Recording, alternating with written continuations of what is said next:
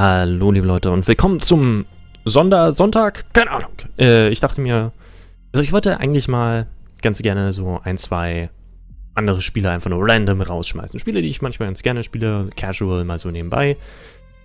Auch wenn manche Spiele das, ja, Prädikat casual vielleicht nicht ganz so das, das passt da vielleicht nicht ganz so, aber ich wollte einfach mal ein paar random Spiele reinstreuen und dafür nehme ich, glaube ich, einfach den Sonntag und dann haben wir halt den Sondersonntag. Ähm, das wird nicht, nicht jeden Sonntag passieren, einfach immer mal, wenn ich Bock habe und Lust habe, was Cooles Neues zu zeigen, was ich vielleicht ausgegraben habe irgendwann. Aber so können wir vielleicht ein, noch ein bisschen mehr coole Abwechslung reinbekommen ähm, in die Bibliothek der Spiele, die wir zusammen hier erleben. So, und heute stürzen wir uns in die kalten Fluten von Cold Waters. Ah, ich werde vielleicht ein, zwei solche Wortwitze machen. ähm, Cold Waters ist hm, jetzt fast ein Jahr alter Titel, ähm, der vor kurzer Zeit ein richtig schönes, fettes Update bekommen hat und auch immer wieder ein bisschen mehr neuem Content versehen wird. Im Prinzip ist es eine wirklich coole, einigermaßen realitätsgenaue, ähm, getreue ähm, U-Boot-Taktik Kampfsimulation, so in etwa. Und wir sehen schon im Hintergrund coole Bilder von Fahrzeugen, die es in dem Spiel gibt. Davon können wir tatsächlich aktuell nur U-Boote steuern. Wer weiß, ob da irgendwann mal Schiffe dazu kommen. Fände ich cool. Fände ich wirklich einfach mal cool, genau die andere Seite zu spielen. Ähm, und genau die andere Seite spielen, das können wir jetzt sowieso schon, denn ähm, zu Release war es tatsächlich so, dass man nur amerikanische U-Boote steuern konnte. Ähm, und zwar für eine fiktive Kampagne, oder eigentlich sogar für zwei Szenarien, für einen sehr frühen, heißen, kalten Krieg. Ja, also das ist irgendwie, äh, hier gibt es ein, zwei Szenarien. Ähm, das ist schon 1968 zum Ausbruch des Dritten Weltkriegs zwischen den USA und der Sowjetunion kommt. Oder einer etwas späteren Szenario, 1984, äh, wo dann der Kalte Krieg halt heiß wird. Ähm, und das war schon tatsächlich einiges an Variationen, weil die Technologie in diesen 20 Jahren hat sich halt schon eine ganze Menge entwickelt. Ähm, aber jetzt sind tatsächlich noch durch ein paar Updates, also durch ein Update wurde jetzt eine sehr moderne Kampagne hinzugefügt. Ähm, nee, nee, nee, hier äh, für die 2000er, das im Prinzip zwischen äh, der Volksrepublik China und den Vereinigten Staaten von Amerika ein Krieg ausbricht. Aus Gründen XY, weiß ich gar nicht genau, ich kenne die Story dahinter gar nicht so. Ist auch nicht so wichtig. Ähm, ich spiele die Kampagne auch üblicherweise eher nicht. Ich habe sie, ich habe mal ausprobiert, aber ich bin da echt nicht so gut drin. Ich spiele meistens eher so, wenn ich mal Bock habe, irgendwie ein bisschen spannende Action zu erleben abends. Dann, dann hole ich, hol ich das Spiel raus und spiele mal ein, zwei Runden. Ähm, genau, da, da arbeitet man damit wirklich extrem modernen Schiffen. Also wirklich, das ist, das ist wirklich sehr knallig hart. Das ist auch wirklich sehr, sehr schwer, die zu spielen, diese Szenarien weil die U-Boote so mega modern sind, dass es echt schwer ist, da zu überleben. Es ist ui. Also die KI nutzt auch wirklich alles. Und jetzt durch einen neuen Patch sind tatsächlich, ist man tatsächlich in die Lage versetzt worden, äh, sowjetische U-Boote zu spielen. Das ging nämlich zu Release auch nicht, obwohl die sowjetischen U-Boote da waren. Sie waren halt das Gegner da. Jetzt kann man sie auch spielen. Und ähm, da musste ich natürlich gleich mal reinstöbern und ähm, was wir vielleicht mal machen, ist dieses Szenario, das habe ich gestern schon gespielt und habe gefailt. Aus ein bisschen Bullshit-Gründen, wie ich fand, aber naja, gut. Ähm, das ist tatsächlich ein äquivalentes ähm, Szenario, gibt es dazu auch schon, nur halt für die amerikanische Seite. Also The Duel ist das erste Szenario, das es hier gibt. 84, One-on-One -on -one Duel with an Enemy SSN, also Submerged Submarine. Ähm, da jagt man mit einem amerikanischen U-Boot ein äh, sowjetisches U-Boot. Und bei Ambush ist es genau andersrum. man jagt mit einem sowjetischen U-Boot ein amerikanisches U-Boot. Und ähm, die, die Boote der unterschiedlichen Nationen, die spielen sich wirklich unterschiedlich. Das ist wirklich krass und das hängt mit der Doktrin zusammen und mit der technologischen Entwicklung, die diese Nationen unterschiedlich gemacht haben. Weil diese Technologie war ja auch mega top secret überall die ganze Zeit. Und sie haben halt parallel entwickelt, aber halt andere Prioritäten gehabt. Ähm, ich werde jetzt diesmal wieder die Alpha-Class spielen, einfach weil ich die super interessant finde, weil sie ziemlich anders ist als die amerikanischen Boote. Ähm, und werden wir mal versuchen, diesen, die Armees einfach mal zu versenken, ne? Äh, hier können wir, mal, äh, wenn wir das Szenario jetzt ausgewählt haben, können wir jetzt halt mal äh, schon erste technische Details und wir haben ein paar U-Boote zur Auswahl, nicht sehr viele. Man hat jetzt, glaube ich, drei, ja, drei sowjetische U-Boote haben wir zur Auswahl. Ähm, die Alpha-Class ist tatsächlich die eins, ist, glaube ich, die einzige wirklich dedizierte Jagd-U-Boot-Klasse. Ähm, und die November ist, glaube ich, schon uralt. Ja, 1950er, also die ist wirklich schon sehr alt. Äh, muss ich aber auch irgendwann mal ausprobieren, wie diese funktioniert. Ähm, aber die Alpha-Class werden wir jetzt erstmal benutzen. Die Alpha-Class, das ganz Besondere an der Alpha-Class ist, glaube ich, dass sie das schnellste Boot überhaupt im Spiel ist, glaube ich. Sogar, ich glaube sogar die Zerstörer, die über Wasser fahren, sind langsamer. Bin ich mir jetzt nicht ganz sicher, aber du kannst wirklich 42 Knoten mit dem Ding machen. Das ist sehr schnell. Das ist sehr, sehr schnell. Ähm, und auch ganz generell, das Ding ist wirklich auf Angriff gebaut. Äh, wir haben aber einen ganz knallharten Nachteil gegen die Amerikaner. Die Amerikaner haben deutlich bessere Sonaranlagen ähm, und sehr, sehr leise U-Boote. Und die Doktrin, die die Amerikaner fahren, ist in, einem so, äh, in so einem One-on-One-Battle, Battle, ähm, denke ich, an deren Vorteil.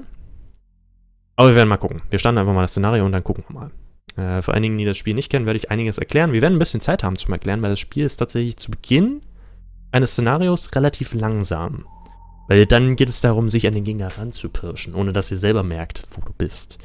Ähm, und ich hatte so richtig Bock bekommen, das Spiel wieder zu spielen, nachdem ich neulich wieder Jagd auf Rote Oktober geguckt habe, weil, oh, es, es, also für mich ist es wirklich eine ziemlich, ziemlich gutes Äquivalent. Also Jagd auf Roter Oktober spielen, kommt man mit diesem Spiel schon sehr, sehr nah ran. Äh, toller Film, aber das Spiel ist halt, macht das sehr gut nach. Äh, wir werden kurz äh, noch was anderes einrichten. Wir haben hier, wir können, bevor wir in die Schlacht ziehen, im Prinzip bevor wir den Feind halt wirklich angreifen, haben wir noch schnell Zeit, ähm, auszuwählen, was wir in unsere Torpedorohre stopfen wollen. Die Alpha hat, ist wie, so, gesagt ein richtig offensiv gebautes Boot, hat sechs Torpedorohre. Das ist eine ganze Menge. Das ist wirklich, das ist ordentlich. Äh, die meisten amerikanischen Boote haben vier. Das ist ganz übel. Die Amerikaner sind aber üblicherweise ein bisschen besser ausgestattet in unterschiedlichen, unterschiedlicher Bewaffnung. Äh, sie haben zum Beispiel auch Täusch-Torpedos, die halt keinen Sprengkopf haben, sondern die einfach nur viel Krach machen und so imitieren, als wären sie ein U-Boot. So kann man halt einen Dummy im Prinzip in eine Richtung schicken. Ähm, aber was ich machen will, ist halt in zwei dieser Torpedorohre diese Dinge hier zu schicken, die SSN-15. Ähm, das sind im Prinzip raketengestützte Torpedos. Ähm, die kann man nur abfeuern, wenn man sehr nah an der Wasseroberfläche ist. Und der Torpedo wird erstmal mit einer, mit einer Rakete über einige Distanz geschleudert und fällt dann ins Wasser am Zielgebiet und zieht dann da seine Kreise. Der Vorteil ist, dass man mit diesen Dingern sehr, sehr schnell größere Distanzen äh, überbrücken kann. Ähm, und man hört ihn tatsächlich relativ wenig, weil er wird einmal abgefeuert, verlässt das Wasser, das macht vielleicht kurz mal Platsch.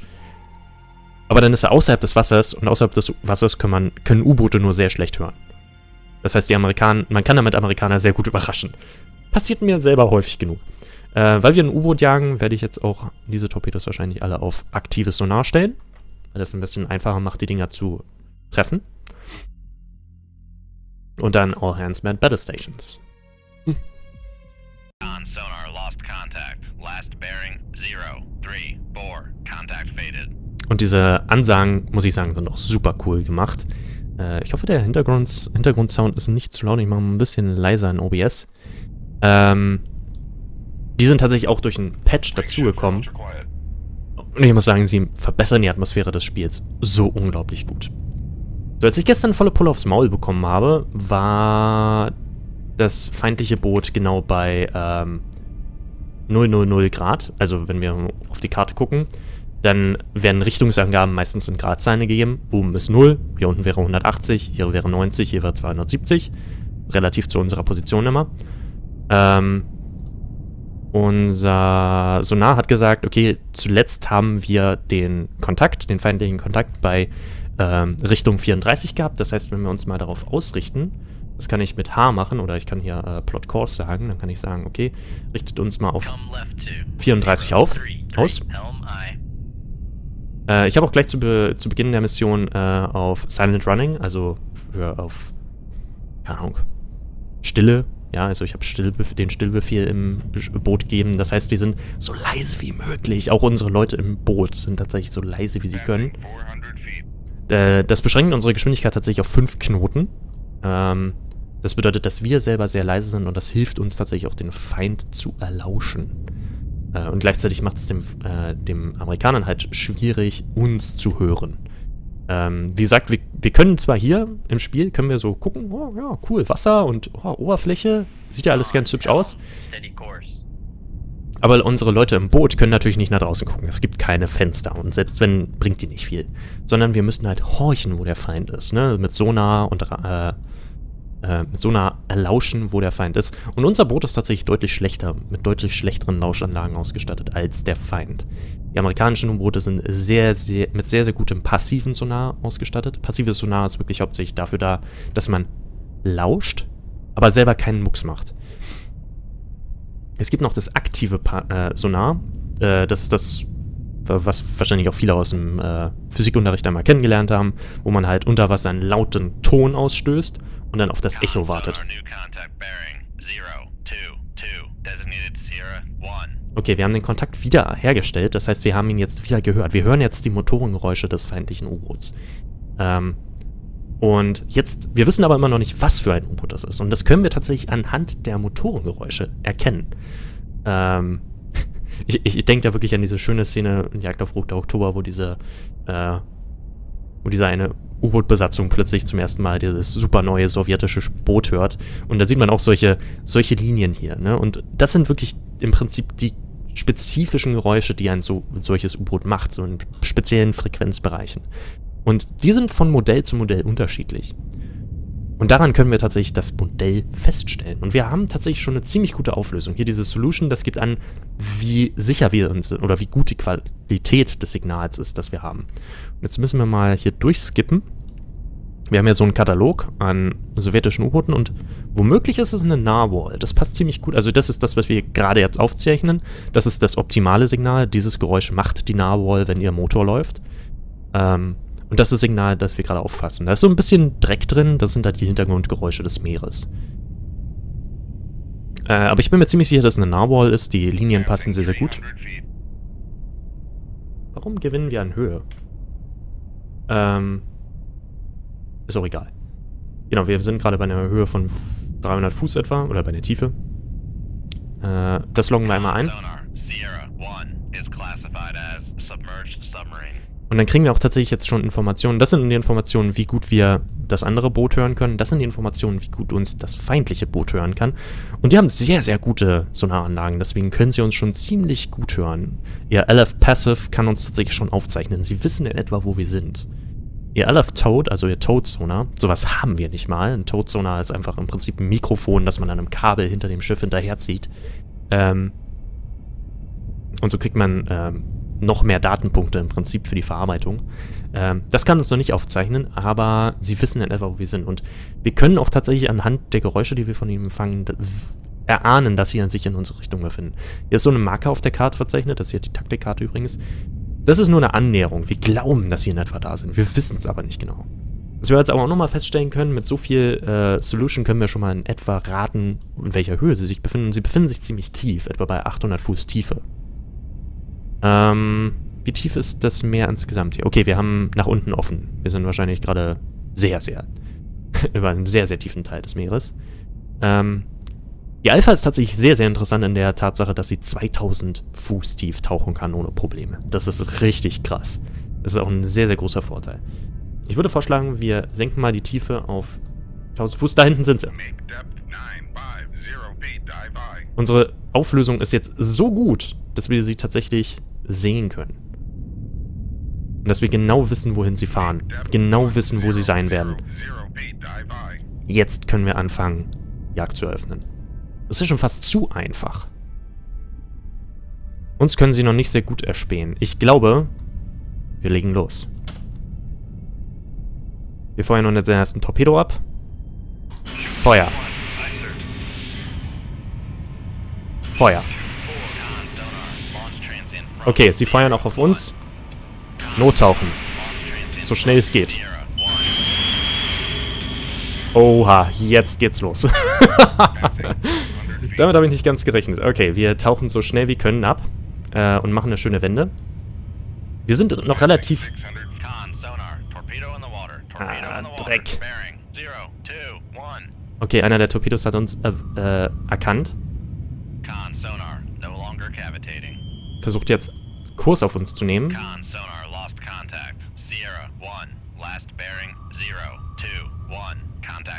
Wir versuchen jetzt vor den Torpedos wegzufahren im Prinzip. Und da ist ein großer Vorteil der Alpha. Sie ist halt wahnsinnig schnell. Wir sind schon auf 5...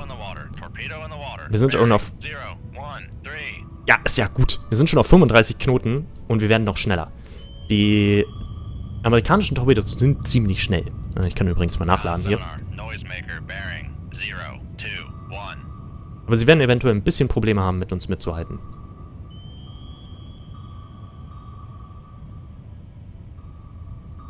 Ich will sie im Prinzip ein bisschen anlocken und eben auf einer Tiefe fahren. Und dann werfen gleich einen Noisemaker. Ein Noisemaker ist im Prinzip ein Container, der einfach nur sehr, sehr viele Blasen erzeugt. Und damit sehr, sehr viel Krach. Und das lenkt die Torpedos ab. Und dann werden wir steil nach unten abtauchen. So tief wir können. Der Torpedo kommt näher. Noisemaker abtauchen. Weil die Torpedos haben nur einen gewissen Kegel, in dem sie uns erkennen können. Und das geht auch fürs Vertikale. Okay, diesen Torpedo ziehen wir noch hinter uns her. Diesen auch noch. Versuchen wir mal eine Knuckle zu machen. Eine Knuckle ist im Prinzip eine Luftblase, die man erzeugen kann, wenn man ähm, das Heck des Bootes hin und her reißt. Okay, wir haben jetzt unsere eigentliche genormte Tiefe erreicht. Äh, ein bisschen übertreiben kann man es manchmal, aber man sollte es nicht zu sehr übertreiben. 2200 Fuß ist zum Beispiel schon sehr tief.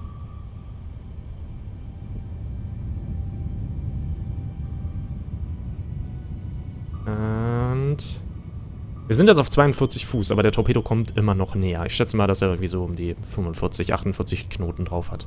Äh, 42 Knoten haben wir drauf. Okay, ähm... Noisemaker auftauchen auf 1000 Fuß.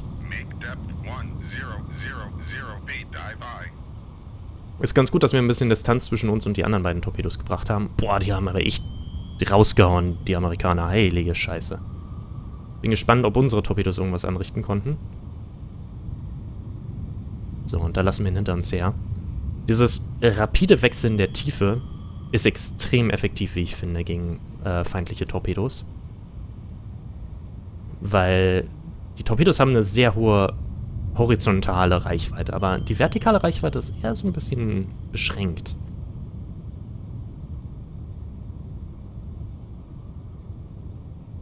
Und noch ein Torpedo. Okay. Wir fahren immer noch direkt auf sie zu, was ganz interessant ist. Okay, wir gehen jetzt wieder auf leises Fahren. Das heißt, wir werden für die Amerikaner wieder schwer zu entdecken. Sind relativ nah an der Wasseroberfläche. Da kann man ein bisschen cheaten manchmal, was ich manchmal mache. Das Spiel ist doch schon schwer genug. Und ich glaube, die drei Torpedos haben wir tatsächlich hinter uns gelassen. Wir hören immer noch das Ping, Ping der Torpedos. Das ist tatsächlich das aktive Sonar der Torpedos. Die versuchen, uns aufzuspüren. Ähm, aber wir scheinen sie größtenteils hinter uns gelassen zu haben. Das ist der große Vorteil der Alpha. Dadurch, dass sie halt bis zu 2000 Meter tief tauchen, äh, 2000 Fuß tief tauchen kann, hat man so einen großen Vorteil, um Torpedos abzuschütteln. Das war jetzt ziemlich hektisch. Ich hätte nicht gedacht, dass es so hektisch war. So, die amerikanischen Torpedos sind alle anscheinend auf Kreiseln eingestellt. Man kann ja sagen, okay, kreiselt mal. Also wenn ihr da euer Ziel erreicht habt, dann kreiselt halt gegen den Uhrzeigersinn oder im Uhrzeigersinn. Man kann auch diese Schlangenlinien machen. Dann fahren sie so in Schlangenlinien weiter geradeaus und versuchen irgendein Ziel zu entdecken. Ähm... Die beiden zum Beispiel, die ich abgefeuert habe, die wir jetzt nicht mehr sehen können, weil... Oder die wir nicht mehr hören können, weil wir selber so viel Krach gemacht haben. Ähm, Das ist nämlich das Ding. Wenn man sehr, sehr schnell fährt, produziert das eigene Boot sehr, sehr viel Lärm. Und dann kann man die anderen Fahrzeuge, Geräte, was auch immer, im Meer nicht mehr so gut hören. Deswegen mache ich das halt meistens so, dass ich sehr, sehr schnell fahre, um den Torpedos auszuweichen und dann wieder sehr, sehr leise werde, um den Feind wieder aufzuspüren. Wir wissen, dass sie da sind, wir wissen aber nicht genau wo. Wir versuchen mal näher an ihre, an ihre Tiefe ranzukommen.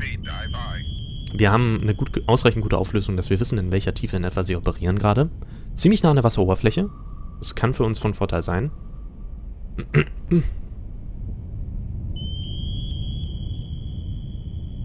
Boah, sie müssen echt direkt voraus sein.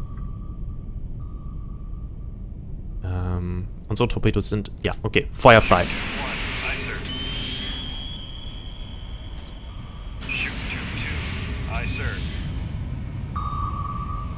Unsere Torpedos haben wir wirklich so abgefeuert. Äh, wir haben sie vielleicht sogar ziemlich dämlich abgefeuert. Weil sie sehr nah bei uns aktiv geworden sind. Die sind ja direkt über uns, diese Bastarde. Was eigentlich nicht schlecht ist, weil das heißt, das können wir, wir können sehr, sehr einfach hinter sie gelangen. U-Boote sind praktisch taub direkt hinter sich. Ähm, das geht eigentlich für fast alle Schiffe. Boah, ey, wir haben die nicht gehört, bis sie direkt über uns waren. Krass. Und ihr könnt jetzt die Torpedos da oben hören, unsere die jetzt, glaube ich... Ja, dieser Torpedo ist tatsächlich auf der Jagd. Jawoll. Der andere auch. Äh, wir können mal unsere Tiefe stabilisieren. Die Amerikaner setzen jetzt natürlich auch... Also die Narwhal setzt jetzt auch ähm, Noisemaker ein, also Geräte, die halt viel Krach erzeugen. Ich äh, lass mal uns so ausrichten, dass wir unsere Nase der Narwhal zuwenden, damit wir besser zuhören können, was passiert. Diese Noisemaker lenken die Torpedos aber nur kurz ab. Und die KI ist tatsächlich meistens nicht so clever. Jawoll! Massiv den Kurs zu wechseln. Äh, oder massiv die Tiefe zu wechseln. Und zieht dann die Torpedos sehr schnell wieder an.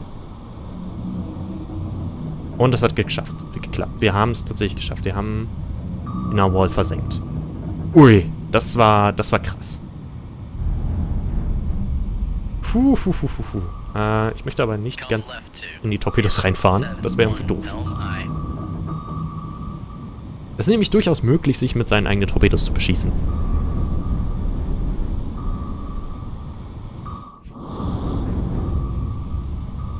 Übrigens, dieser Torpedo wird jetzt hier gleich nochmal reinrammen, weil ein sinkendes U-Boot sehr, sehr viel Krach erzeugt und für die Torpedos gefundenes Fressen ist. Ah, wird verfehlt. Ah, guckt euch die schöne Öllache an, die wir hier produziert haben, als das Boot auseinandergebrochen ist. Boah, das ist so viel besser gelaufen als letztes Mal. ja. Das, das ging erschreckend schnell. Das ging echt sehr, sehr schnell.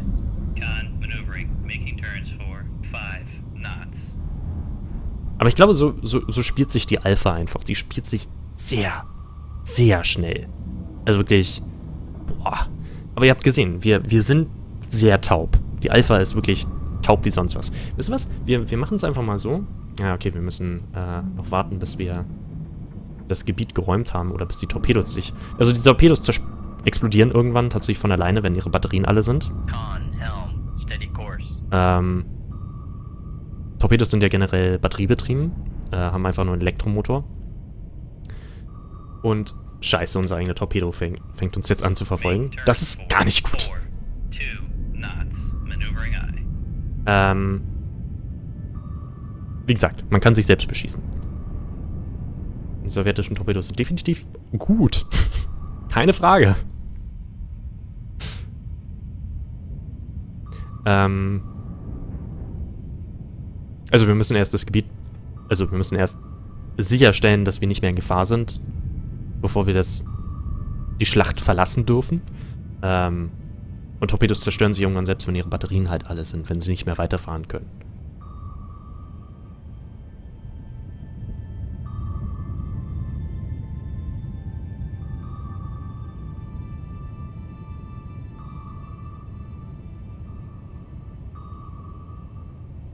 Es ist... Also man muss, glaube ich... Ich hab's... Ist das eigentlich einer von unseren Torpedos? Hier ist ein amerikanischer Torpedo. Krass. Weil unsere Torpedos sind viel länger. Die amerikanischen Multipurpose-Torpedos, die sind ziemlich kurz. Äh, Noisemaker auftauchen.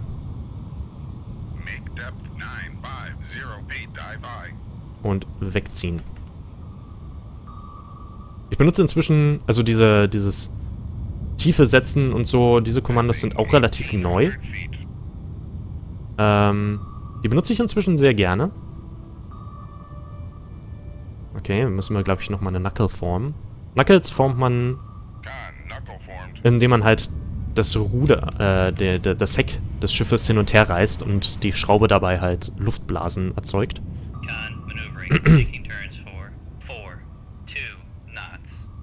Und die sind halt, äh, sind halt sehr, sehr laut, diese Luftblasen. Ach, Dreck. Jetzt von Hand machen sollen. Ich tauche jetzt von Hand, fertig. Äh, ja, ich benutze immer die Kombination jetzt aus ähm, dieser automatischen Steuerung und der Handsteuerung. Je nachdem, was ich halt gerade brauche. Ja, wir cavitaten, ist ja okay.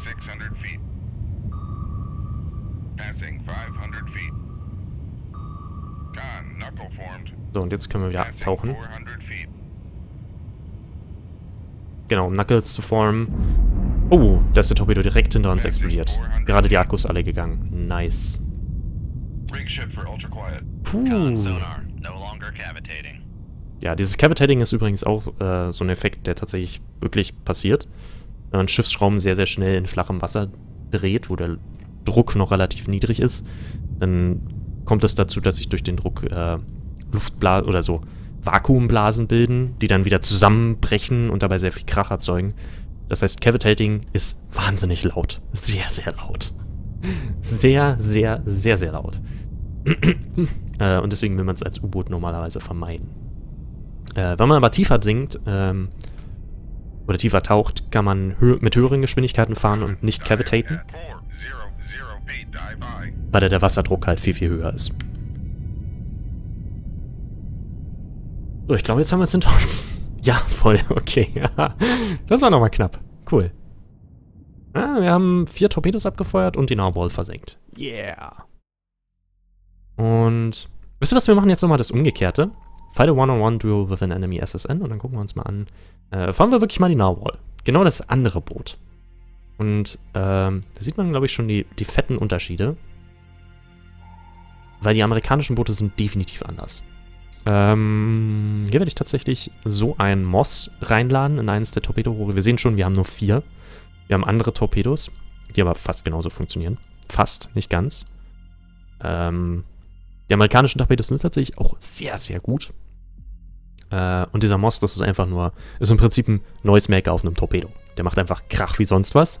Und die anderen, also Feinde könnten das Ding halt mit uns verwechseln und dann auf diesen Täuschkörper schießen, statt auf uns. Was sehr hilfreich ist. Eine All-Hands-Man Battle Station. Und es kann gut sein, dass das...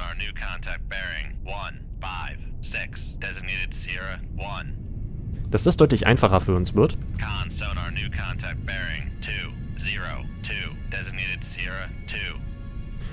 Okay, das sollte eigentlich ein One-on-One-Battle sein. Es kann gut sein, dass einer dieser Kontakte, wir haben jetzt zwei, äh, ein Handelsschiff ist oder sowas. Das kann durchaus passieren, dass zivile Schifffahrt... Es gibt auch Wale, die tatsächlich durch, durch das Kampfgebiet schwimmen können. Das habe ich aber bis jetzt nur einmal gesehen. Aber es könnte durchaus ein Wal sein. Ähm, also ein echter Wal. Nicht, nicht ein Narwhal, sondern ein Wal. Ähm, ja, also es könnte jetzt durchaus einfacher für uns sein, den Feind überhaupt zu hören. Weil die Art und Weise, wie die amerikanischen U-Boote gebaut ist, viel, viel mehr auf Anschleichen, Lauschen, einen Schuss abgeben, nicht entdeckt werden und dann so schnell wie möglich weggeht. Äh, wir drehen aber unsere Nase zu diesem ersten Signal hin. Und dann versuchen wir auch hier wieder das Signal richtig zuzuordnen. Äh, Delta 3 würde schon ganz gut passen. Manchmal sind die Unterschiede sehr klein, weil die Boote sehr, sehr ähnlich sind. Also hier ist zum Beispiel eine Delta 3 und eine Delta 4. Hier. Und mal fällt, fliegt die Delta 4 nicht. Nee, das ist die Saturn 5. Nee, Delta 4 war aber. Delta war auch eine Raketenserie der Amerikaner, ne? Aber es war noch vor Saturn.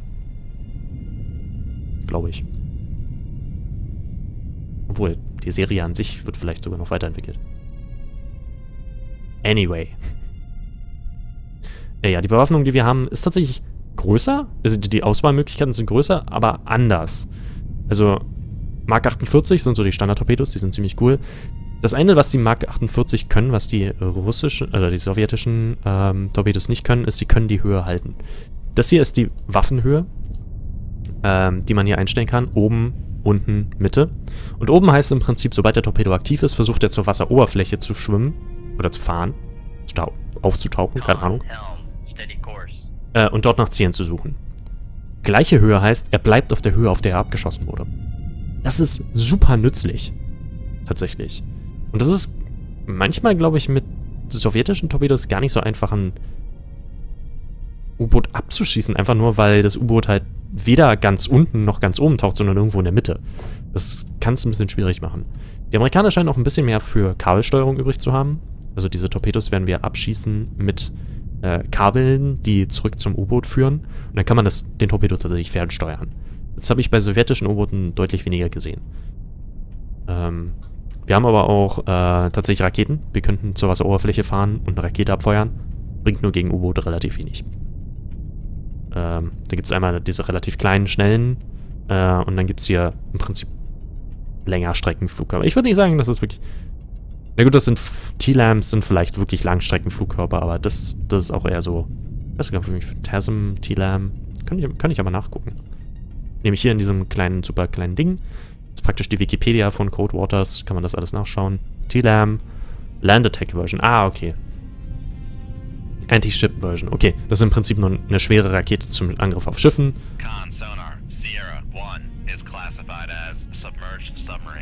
Okay, wir äh, müssten gar nicht die Signatur zuordnen. War ein Victor 3 gewesen. Okay, na dran. Ähm, wir sind einfach auf der gleichen Höhe wie wir, so wie ich das sehe. Ja. Und hier können wir tatsächlich sehen, sie hören uns noch nicht, weil wir deutlich leiser sind. Wahrscheinlich werden sie jetzt aber gleich hören, sobald wir anfangen mit dem Schießen.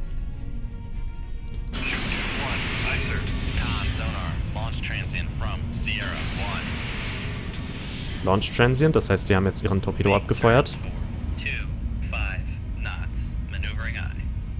Mit der Narwhal habe ich, glaube ich, noch nicht so viel gespielt. Aber ich weiß, dass sie nicht annähernd so schnell ist wie die Alpha. Das ist so ein Problem mit den Kabeln, wenn man...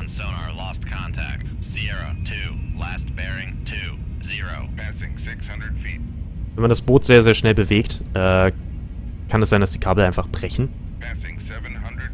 Wir können bis 1320 Meter Tiefe gehen. Problemlos. Dann machen wir das doch. Und das müsste in etwa reichen. Laden wir die Torpedos nach. Torpedos nachladen macht übrigens ein bisschen Krach. Deswegen wird das während der äh, Schleichfahrt tatsächlich deaktiviert. Schleichfahrt, so heißt das, richtig. So, ich habe zwei Torpedos abgefeuert. Ich habe auch das Gefühl, dass die sowjetischen Torpedos deutlich schneller nachgeladen werden. Das dauert ewig hier. Sowjetischen Torpedo so, wupp, fertig. Okay, der sowjetische Torpedo ist online. Läuft können ihn uns tatsächlich angucken und der ist eingestellt auf hohe Tiefe. Das heißt, er versucht nahe der Wasseroberfläche zu bleiben. Für uns wahrscheinlich sehr, sehr gut, weil wir einfach drunter durchtauchen können. das, das ist so der Nachteil, den ich mit den sowjetischen Torpedos sehe. Sie sind relativ eingeschränkt. Also wahrscheinlich können wir wirklich einfach unter dem Ding durchschlüpfen machen jetzt mal Schleichfahrt, damit der Torpedo uns vielleicht... Shit! Doch nicht? Was macht er denn jetzt? Er hat uns doch gehört. Krass. Wir hätten auch auf äh, Zero-Tiefe gehen können. Was macht der da? Versuchen wir halt wieder nach oben zu kommen, während der Torpedo unten ist. Krass, dass er uns gehört hat. Huh. Dann wäre vielleicht noch ein bisschen sehr laut. Con, torpedo room, tube 3 ready. Con, sonar, lost contact. Sierra, 1. Last bearing, 1. 5. Bore. Contact is in the baffles. Ja, der Kontakt ist jetzt halt in unserem Schraubengeräuschen, das heißt, wir können ihn überhaupt nicht hören.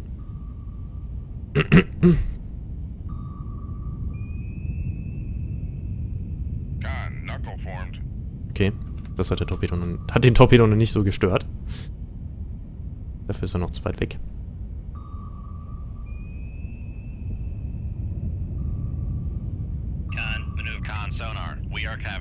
So, wir machen jetzt Krach bis zum geht nicht mehr. Was aber nicht schlimm ist. Wir versuchen ja einfach erstmal nur wegzukommen. Wir sind mit 25 Knoten wirklich gar nicht so schnell. Also ja, für ein, für ein Boot ist das schon okay. Ja, vielleicht sollten wir mal auf 100 Fuß gehen, nicht auf 50. 50 ist vielleicht ein bisschen sehr wenig. Ich will nicht die Wasseroberfläche durchbrechen. Das macht uns nämlich ziemlich langsam. Noisemaker abtauchen. Con, knuckle formed.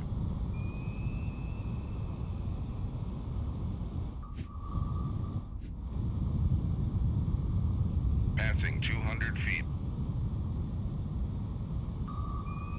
Ah, shit. 300 feet. Con, knuckle formed. Con, sonar. No longer cavitating. Passing 500 feet.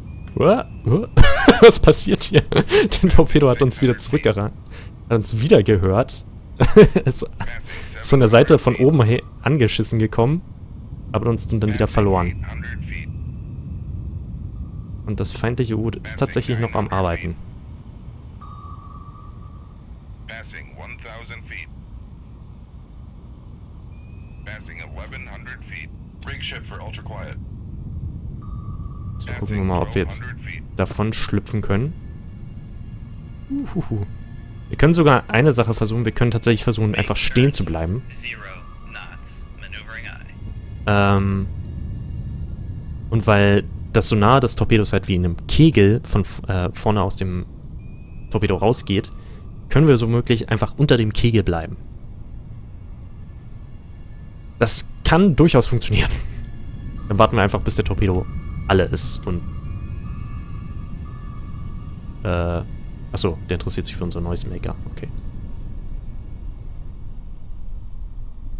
Das kann man definitiv auch machen. Dauert ein bisschen länger, äh, aber ja. Besser als sterben. Weil das eine war jetzt schon sehr, sehr, sehr knapp. Das eine war jetzt wirklich sehr, viel zu knapp für meinen Geschmack. Und wir haben tatsächlich auch wieder Kontakt mit der Victor hergestellt. Wir wissen in etwa, wo sie ist. Aber nicht sehr genau. Und sie wissen gar nicht, wo wir sind. Ne? Also das sind deren äh, Fähigkeiten, Aufspürungsfähigkeiten und sie haben null Plan, wo wir sind.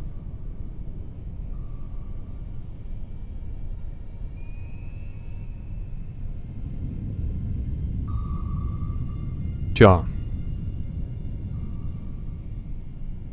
Jetzt hilft eigentlich erstmal nur warten.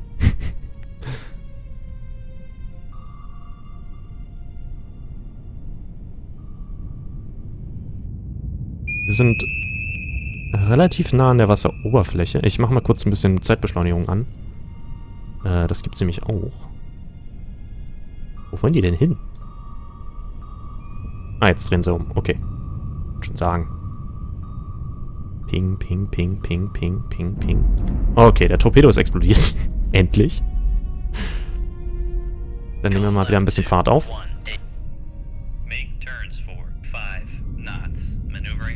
Und seht schon, jetzt alleine schon durch diese fünf Knoten, die wir machen, sind wir deutlich besser zu hören.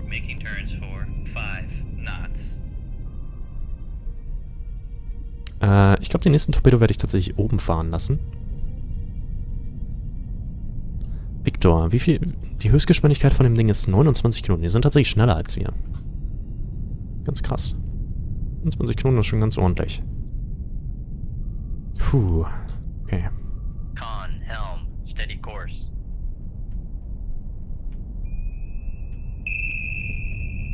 Können Sie sehen und sie tauchen weiter nach oben.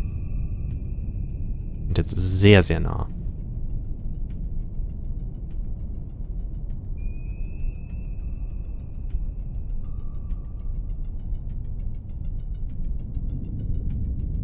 Ich überlege, ob ich jetzt schon ein Torpedo abfeuern soll. Sie werden... Das, das Dumme ist, Torpedoabschüsse kann man ziemlich gut hören unter Wasser. Aber wir machen es mal.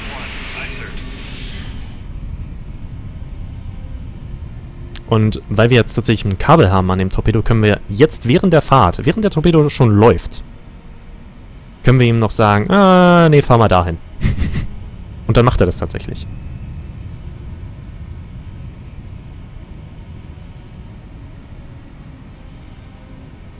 Sie wissen nicht genau, wo wir sind. Sie haben nicht geantwortet mit einem Torpedo. Was ich interessant finde. Sie fahren jetzt sehr, sehr nah an der Wasseroberfläche. Wenn Sie diese komischen ich glaube, die haben sie, ne? Die SSN 16, ja. Die haben diese raketengestützten Torpedos. Ähm, womöglich sind sie so nah zur Wasseroberfläche gefahren, um die einsatzbereit zu haben, weil die kann man nur ab einer Höhe, also von einer Tiefe von 180 Fuß oder weniger einsetzen. Ähm, das ist also womöglich die Raison.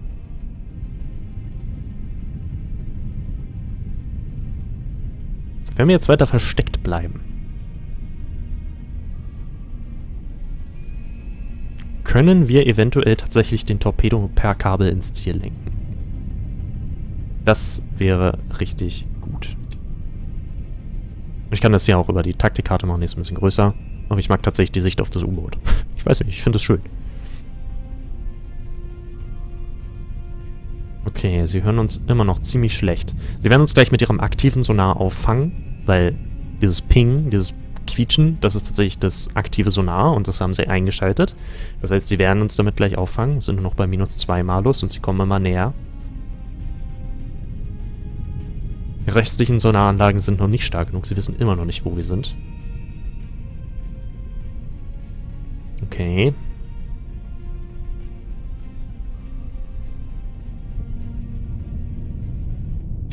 Wird die noch ein bisschen laufen? Das ist das Coole an Kabelsteuerung. Es ist wirklich, wirklich nice. Du kannst, während der Torpedo noch gelaufen ist, weil das haben wir schon bei der Alpha gesehen. Ne? Ich habe Torpedos mehr oder weniger gefeuert und bin dann weg. Und sie haben verfehlt. das ist so, äh. äh, ist halt so ein bisschen doof. Aber wenn man sie halt nach dem Start nochmal steuern kann, ist das sehr, sehr nützlich. Ich glaube, sie haben jetzt den Torpedo entdeckt. Sie drehen bei und sie cavitaten. Ja, ich glaube, sie versuchen auszuweichen. Das ist für uns sehr gut, weil dadurch wird halt ihre Chance, uns zu entdecken, noch schlechter. Und jetzt drehen sie äh, uns sogar ihre Schraube zu. Das heißt, wir werden gleich in ihren Schraubengeräuschen einfach verschwinden. Und sie sind zwar recht schnell mit 29 Knoten, aber nicht so schnell wie unsere Torpedos. Die haben Höchstgeschwindigkeit von 55 Knoten. Ich glaube, sie würden jetzt gerade noch mit 40 Knoten laufen. Äh, das reicht. Das reicht definitiv. Und sie machen gerade so viel Lärm, dass sie sehr, sehr einfach zu entdecken sind.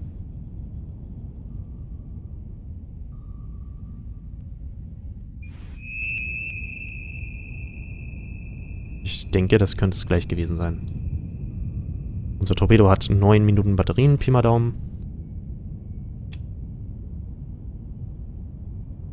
Machen wir mal ein bisschen schneller hier. Da kommt unser Torpedo. Schön.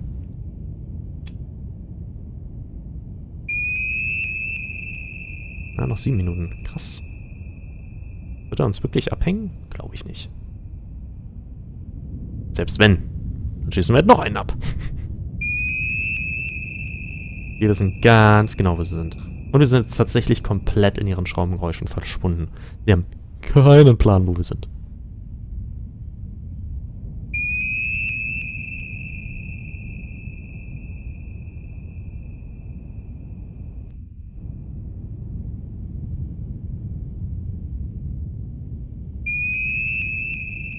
Na, noch ein bisschen Fast Forward. Lost contact. Sierra 2, last bearing 1, 8, 8, contact faded.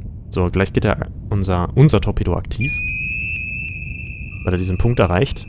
Und er steigt jetzt auf. Weil wir ihm gesagt haben, er soll oben nach Zielen suchen.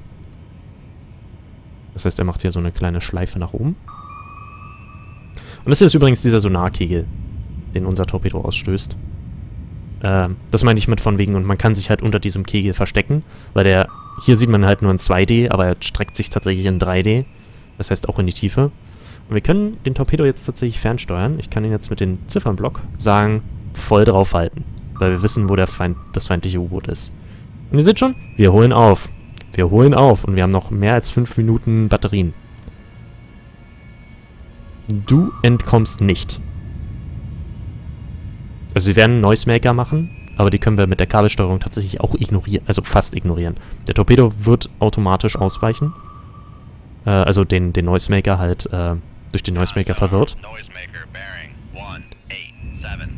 Aber man kann den Torpedo halt einfach manuell steuern.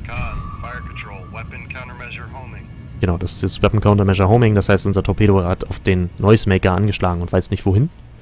Wir steuern einfach mitten durch.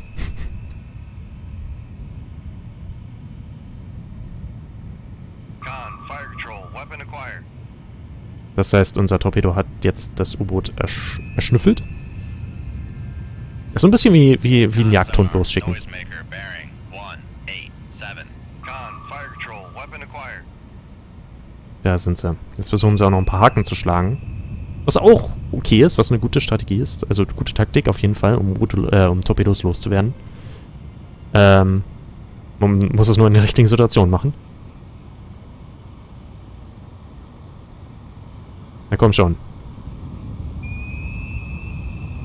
Ah, der reagiert immer noch auf den Noisemaker. Jetzt. Volle Pulle drauf zu. Gute Idee. Und...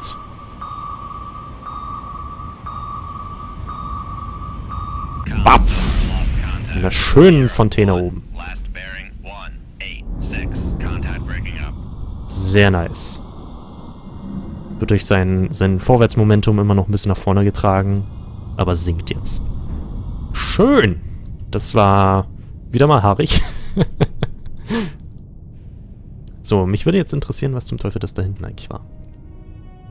Come right to 188. Helm I. Ich würde mal vermuten, dass es einfach nur irgendein random Fish Trawler oder so ist. 1, 5 knots. Maneuvering I. Wir, wir können ja mal kurz auftauchen Make depth 4, 5, 8, dive I. und gucken.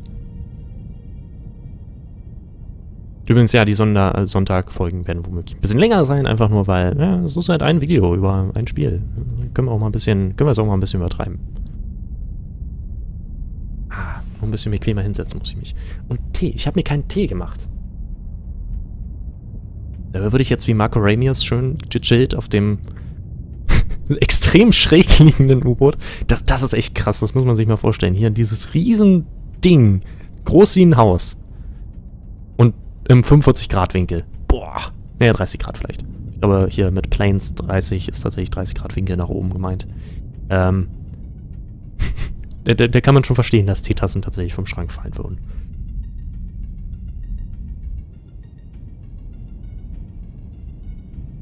Übrigens, äh, solche, solche U-Boot-Wracks machen tatsächlich wahnsinnig viel Krach. Ähm, weil halt zum Beispiel noch Sauer, äh, Luft rausläuft und pipapo und hört ihr das knacken und knirschen. Ähm. Insoweit kann man das manchmal benutzen, um sich da zu verstecken. Ich, ich habe es auch schon hinbekommen, tatsächlich Torpedos an solchen Wracks abzuschütteln. Im Prinzip, indem ich sie da abgeschmiert habe. Bin mit meinen Torpedos am Hintern halt über das Wrack rübergefahren, habe einen Noisemaker abgeworfen und danach ist der Torpedo in das Wrack reingetaumelt. Äh. Kann man machen, ist aber schwierig. Aber ist vielleicht ein Versuch wert. Con Der Wasserdruck wird deutlich niedriger,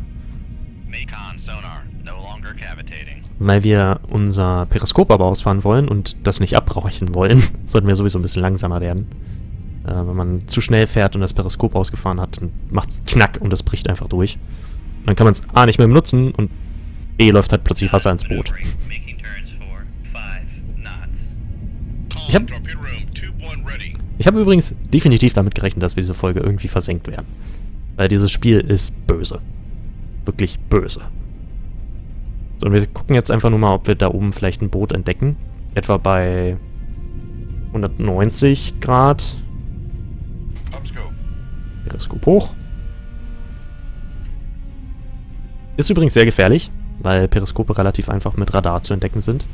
Äh, oben können wir jetzt sehen, die Gradzahlen, aber ich sehe nix.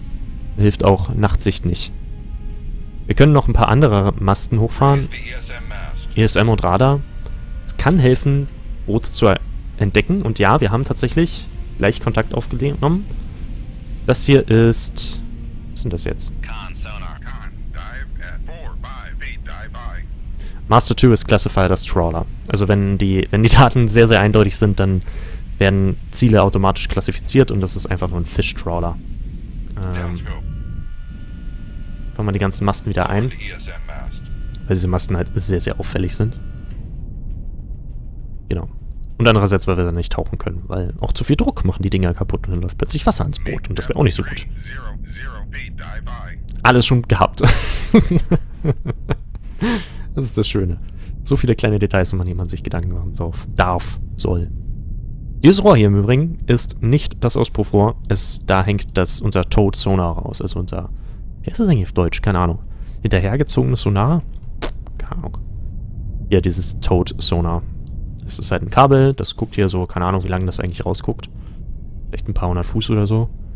Äh, und da hängt dann auch nochmal ein äh, Hydrophon, wäre das dann, glaube ich. Also ein Mikrofon, nur halt fürs Wasser drin. Äh, und weil das halt einerseits weg ist von unserem Schiff, unserem Boot, von unserem Motor, ähm, hat man halt wen viel weniger diese Hintergrundgeräusche des Bootes an sich. Und andererseits hat man damit noch einen Datenpunkt, weil du kannst dann halt hier irgendwie, hier das Frontsonar, das Bugsonar, kann dann halt Geräusche auffangen und hier hinten kannst du dann Geräusche auffangen und dann kannst du viel einfacher Richtung und äh, Geschwindigkeit vielleicht von Zielen bestimmen. Bestimmt geht das irgendwie so. Ich kenne mich da physikalisch nicht so gut aus, aber kann ich mir gut vorstellen, dass es dann viel, viel einfacher ist. Übrigens, das Schadensmodell ist auch relativ ausgefeilt. Ein U-Boot kann tatsächlich einen Treffer von einem Torpedo meistens wegstecken. Die Alpha nicht so, die ist erstaun erstaunlich fragil. das ist mir nämlich letztes Mal passiert. Ein Torpedotreffer tot. Hm, scheiße. Aber Wasserbomben zum Beispiel sind üblicherweise auch kein One-Hit-Kill. Äh, und dann können tatsächlich einzelne Teile des Bootes kaputt gehen, die man dann erst reparieren muss. Und sie können auch mit Wasser volllaufen. Und das mit Wasser volllaufen ist richtig böse, weil man dann tatsächlich Auftrieb ver äh, verliert und dann sinkt das Boot einfach. Und die eigene Tiefe nicht so einfach kontrollieren zu können, ist echt eklig. Weil dann, dann musst du Sachen machen wie At 3, 0, 0 feet, dive by. einfach nur um die aktuelle Höhe zu halten oder aktuelle Tiefe zu halten, musst du dann einfach Vollgas geben, die Planes volle Pulle anziehen, also praktisch nach oben ziehen die Nase und den Ballasttank komplett leer machen. Ähm, einfach nur um die Höhe zu halten. Und das Lustige ist, je tiefer man sinkt, desto schneller dringt das Wasser ein, weil der Wasserdruck steigt. Das heißt, um das Wasser rauszupumpen, was man kann, muss man aber sehr nah an die Wasseroberfläche. Was aber gefährlich ist, weil da die Gegner womöglich warten. Also ist, da, da, da wird es dann sehr, sehr schnell sehr hektisch. Hatten wir jetzt diesmal nicht. Ist auch okay. Ich glaube, wir sind erstmal fertig hier. Und damit möchte ich auch sagen, ich hoffe, es hat euch gefallen und schaltet nächste Folge ein zu was auch immer. Keine Ahnung, der Sondersonntag soll ein bisschen, ein bisschen von allem sein. Buntes, kunterbuntes Mischmasch von irgendwas. Bis dann.